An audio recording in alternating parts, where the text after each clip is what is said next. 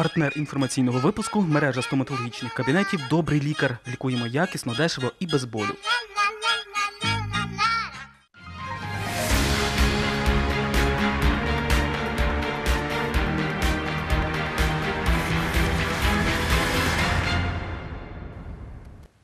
Підсумковий інформаційний випуск області Подільська панорама до вашої уваги. У студії працюють Віталій Постемський та Оксана Фіновська. Вітаємо вас. На початку короткий анонс. Молочні ріки або як подолати проблему заниження закупівельних цін в краї. Електричне майбутнє. Чому подільські автомобілісти не поспішають пересідати на електрокари? Олімпійське щастя. Хмельницькі спортсмени підбивають підсумки головних змагань чотириріччя.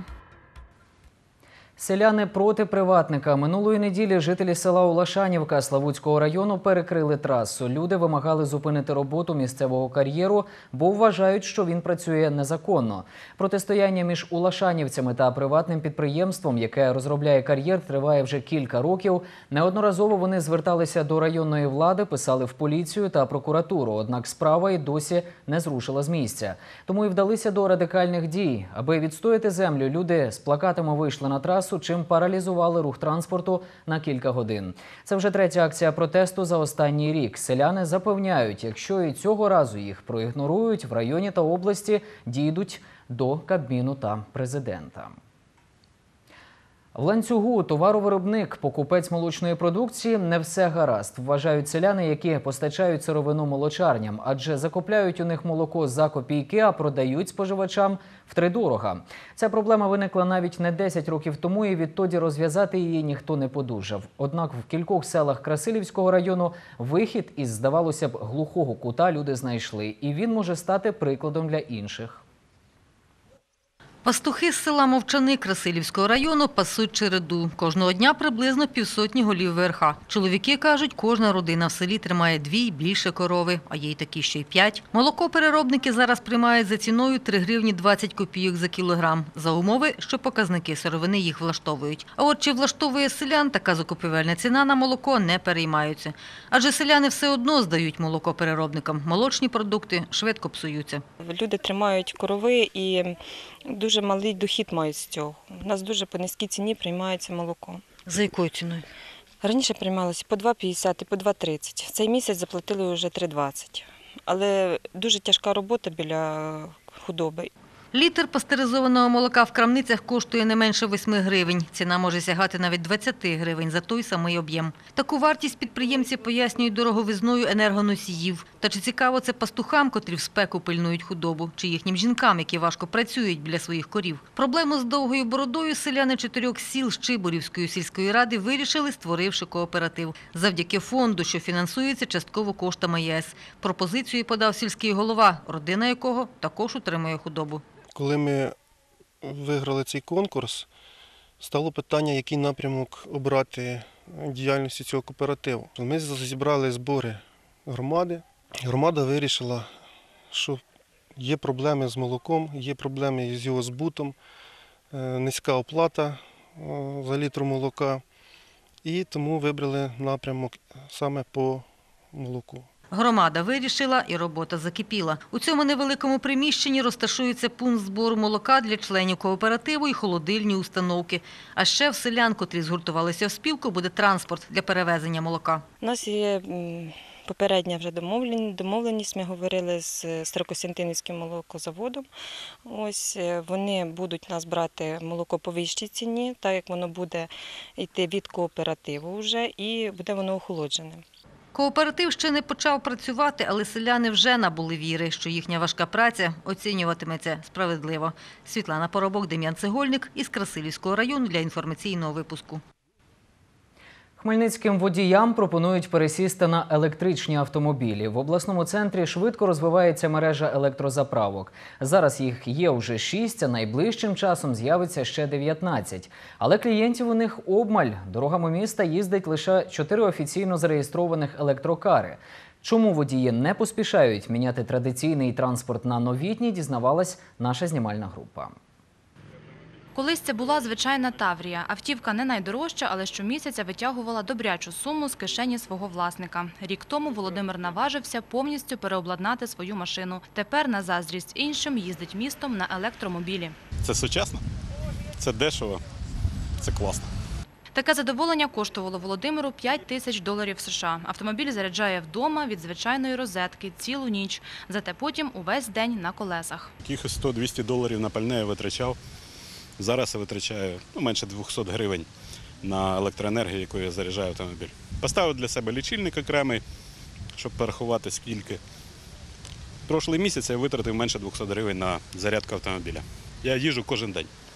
Зараз дорогами Хмельницького їздить 4 електроавтівки. Тим часом заправок, де їх можна підзарядити, скоро буде 25. Мала кількість клієнтів не зупиняє підприємців. Вони вважають, що за електромобілями майбутнє. є фінансова можливість розбудовувати інфраструктуру зарядних станцій. А потім під цю інфраструктуру ми вже можемо пропонувати клієнтам. Альтернативний е, ну, транспортний засіб, тому що у деяких е, мешканців, жителів міста Хмельницького, зокрема, вони задають нам питання, де я буду підзаряджати свій електромобіль. Тому ми їм пообіцяли, ми розбудовуємо мережу, потужну мережу, інфраструктуру підзарядних станцій електро, і ви без е, страху можете купувати електромобілі і е, будь-де підзаряджатись. І, до речі, для власників електромобілів підзарядка вона безкоштовна. В усьому світі електромобілі коштують дорожче, ніж ті, що споживають бензин чи дизельне паливо. Ось цей, наприклад, обійдеться у 16 тисяч доларів. Однієї підзарядки вистачає на 300 кілометрів. Хмельницькі водії не проти пересісти на новітній транспорт, але зупиняє їх невеликий вибір і висока ціна таких автівок. На даний час е, це тільки зароджується. І, можливо, з часом будуть більш кращі моделі, більш ефективніші. Не приходилося керувати таким автомобілем, але я рахую, що це наше майбутнє і це дуже добре. Це екологія, і е, пальне зараз у нас, бачите, все дорожає, дорожає. Підприємці, які встановлюють електрозаправки у Хмельницькому, переконують, що скоро такі ж з'являться і в Кам'янці-Подільському. А ще в планах розбудовників мережі ставити підзарядні станції на звичних АЗС. Вікторія Паламар, Олександр Горішевський для інформаційного випуску. Як відновити втрачене посвідчення учасника бойових дій? Куди необхідно звертатися та які документи для цього потрібні? Практичну допомогу з цих питань вчорашнім бійцям надають у центрі допомоги учасникам АТО в області, розповідає координатор вказаної організації Володимир Шрубковський. Першочергово це він повинен звернутися в газету або написати заяву в міліцію про те, що він посвідчення або втратив, або в нього викрали. Тільки після того, як він напише заяву, подасть е, інформацію в засоби масової інформації, він повинен звернути військовий комісаріат по своєму місці проживання, написати заяву там же, що він втратив і просить, щоб йому виготовили дублікат або виписали нове посвідчення. В цьому разі військовий комісаріат повинен зібрати з нього пакет документів. Це обов'язково буде всі копії паспорта. Це повинно в нього бути е, копія з даного посвідчення учасника бойових дій. Якщо такої нема, ну ну нема, то значить будуть вирішувати без цього всього. Робиться офіційний запит на військову частину, де він отримував. Військова частина повинна надати списки даної особи, що він в той е, час, ну коли перебував на службі, отримав дане посвідчення. Цей список повертається на військовий комісаріат.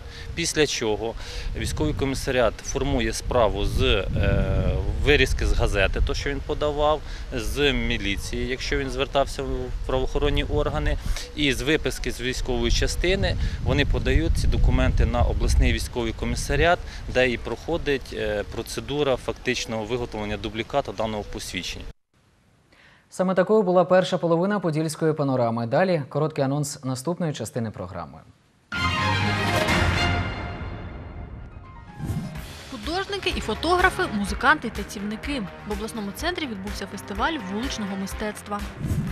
Вервулф 2016. Етнічний мотозліт у Меджибожі зібрав байкерів з усієї України.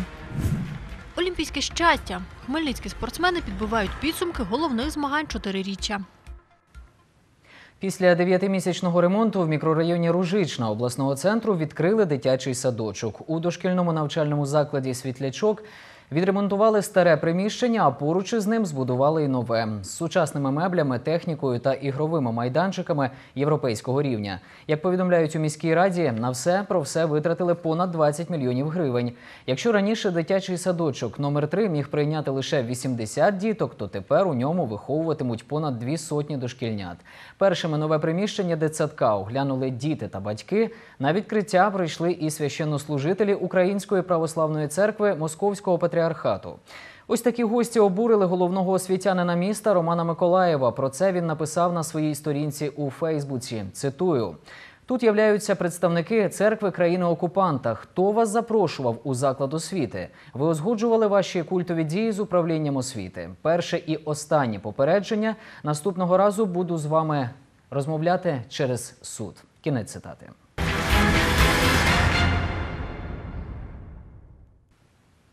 Хмельниччина фестивалить великим етномотозльотом 25-ту річницю незалежності України відзначили у Меджибужі. Вервульф 2016 став справжнісіньким святом музики та козацьких забав. В останні вихідні літа до стародавньої фортеці з'їхались байкери з різних куточків України. До них приєднались і наші журналісти. А враженнями поділиться Надія Куриляк. У вишиванках та на залізних конях 26 серпня у Меджибужі розпочався етномотозліт Вервульф 2016. Гостей з усіх куточків України зустрічали прямісінько серед мурів стародавньої фортеці Київ, Одеса, Дніпро, Вінниця. На мотозліт з'їхались байкери звідусіль. Організовуємо мотозльоти от в таких історичних місцях, щоб люди відкривали Україну разом з нами. Ми приїжджаємо, хай байкери з усієї України приїжджають і дивляться на Поділля, на край наш.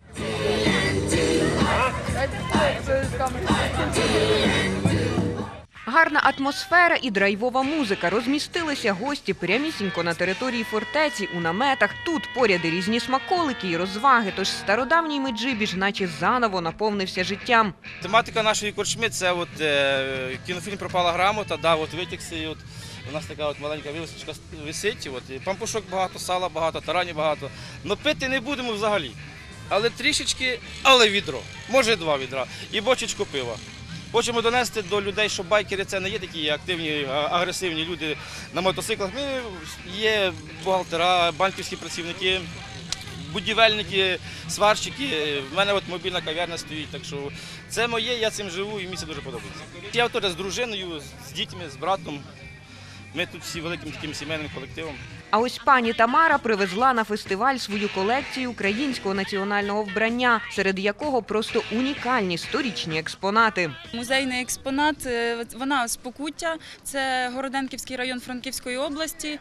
Е, Я не можу точний вік її назвати, але я думаю, що близько 100 років, плюс-мінус, це десь, десь отак. І ще от та сорочка, це святкова сорочка рукавівка називається, коли от вишитий весь рукав, це також сорочка рукавівка. Е, Ця, мабуть, що ще старіша. Там спочатку вишивається каркас, а потім по каркасу вже зверху вишивається ниточка.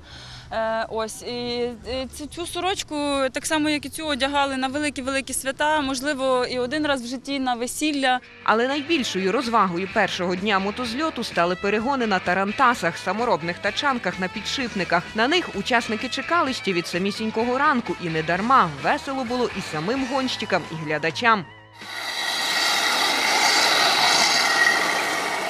Вже третій заїзд. Мені жалко, я шкодую, що я дуже мало катався в дитинстві на цих штучках.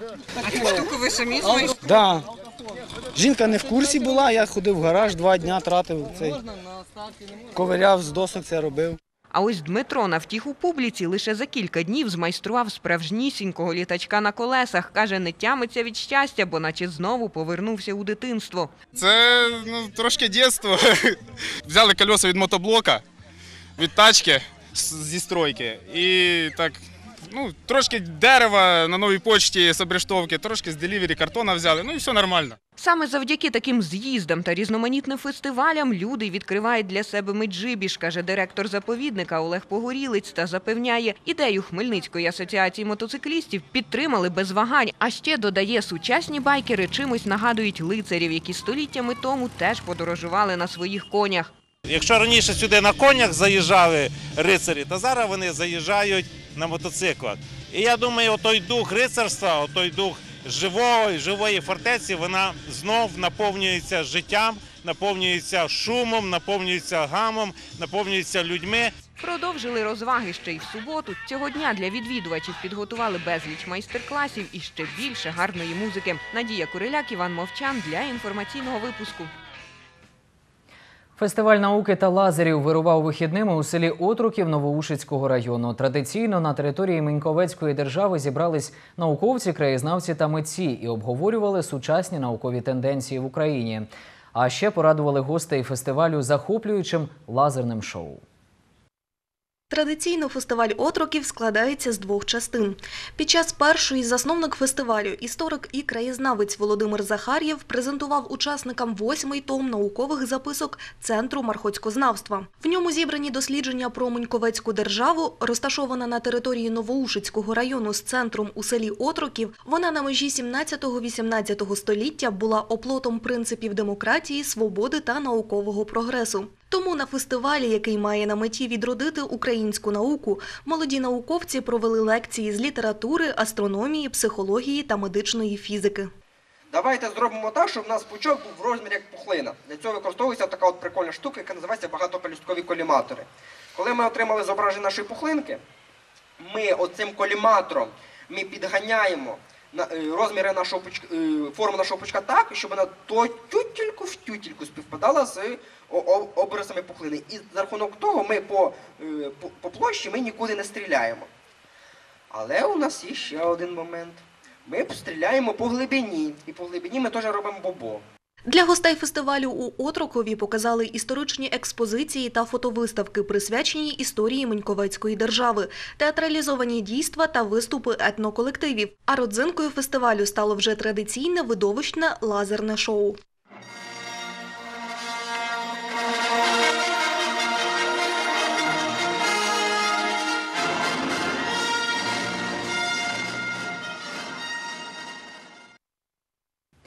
Художники, фотографи, музиканти, танцівники та всі небайдужі до мистецтва цими вихідними зібрались гуртом у Хмельницькому парку імені Чекмана.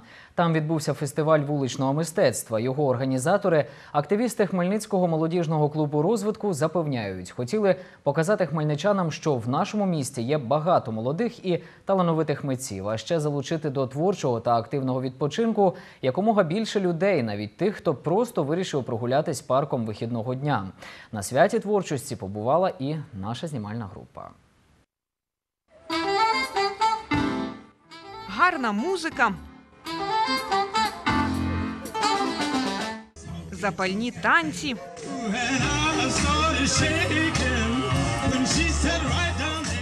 А ще безліч майстер-класів, літературні читання, фотосушка та жива бібліотека. Організатори фестивалю вуличного мистецтва переконують, тут кожен може знайти розваги до смаку. Подумала, що варто було підключити і музикантів, і фотографів, і зробити якісь інтерактивні частинки. От, наприклад, зараз у нас проходить майстер-клас бугі-вугі.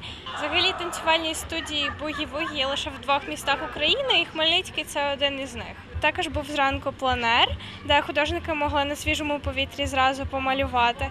Тобто постійно з'являлись ідеї, це все розширювалось і збільшилось до масштабів фестивалю. Як майструвати цікаві речі власноруч, вчили волонтери соціально-культурного центру Сорока. Код ан- антистрес. Піднімає настрій. Який би не був поганий, він завжди посміхається. Такий одяг можна зробити для мобільного телефона. Тобто дитині це цікаво і дорослій людині цікаво. Мобільний телефон, от у нього вже одяг є.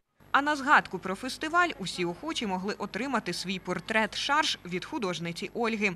Це дуже цікавий процес. Тому що е, портрет е, ну, просто перемальовуєте риси, а шарж це те, як бачить художник. Шарж це не карикатура. От він е, якби зображує найкращі риси. Організували дні вуличного мистецтва активісти Хмельницького молодіжного клубу розвитку. До слова, майже усі вони школярі. Кажуть, хотіли показати хмельничанам, що в нашому місті є багато молодих і талановитих митців, танцівників та музикантів. А ще залучити до творчого та активного відпочинку якомога більше людей, навіть тих, хто просто вирішив прогулятись парком вихідного дня. Показати хмельничанам, що в нас є люди, які захоплюються мистецтвом, які хочуть показати його багатогранність, яким це просто цікаво, які хочуть знайти своїх однодумців, своїх друзів, зайнятися чимось, що їм по душі. Завершили фестиваль кінопоказом Просто неба. Надія Куриляк, Андрій Лазарук для інформаційного випуску.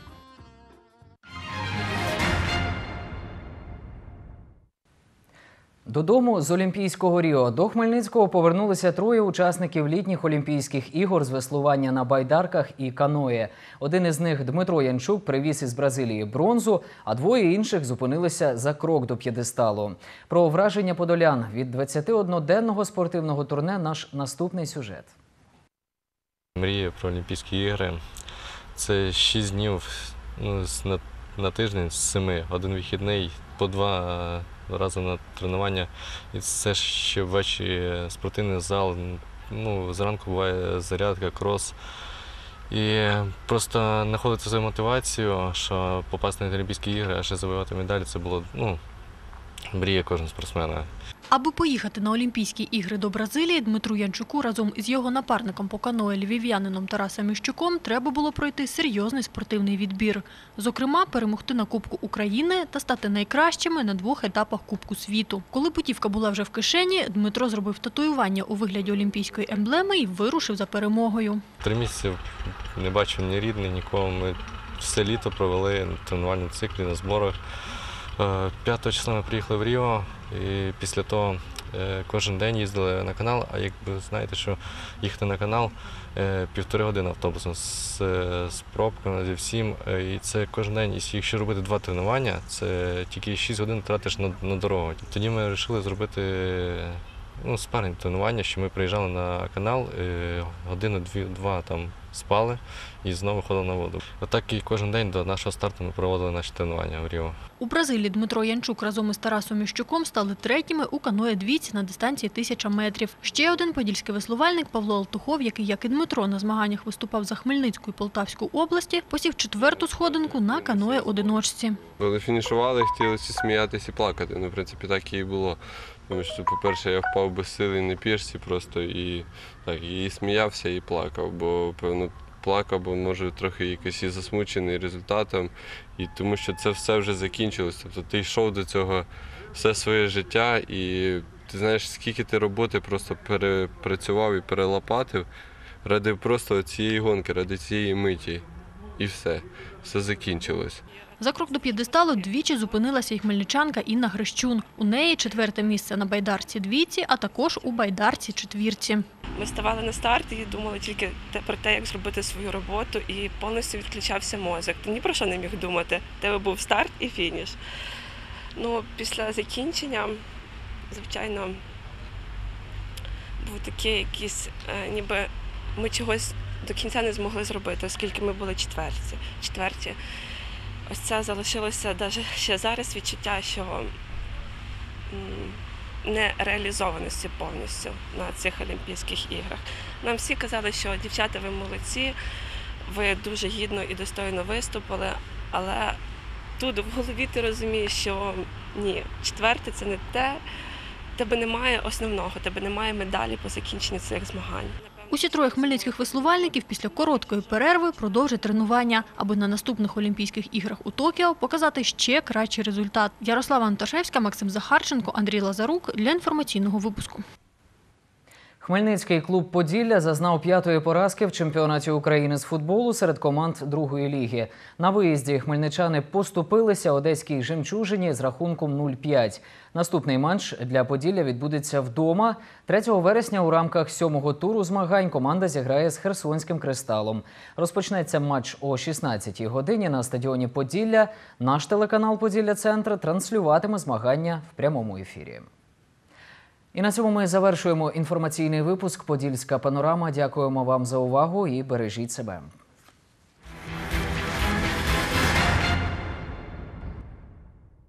Послуги добрий лікар надає як для дорослих, так і дітей, але останнім особлива увага. Дитяча хірургія, пластинки, брекети. Тут надають усі види стоматологічних послуг.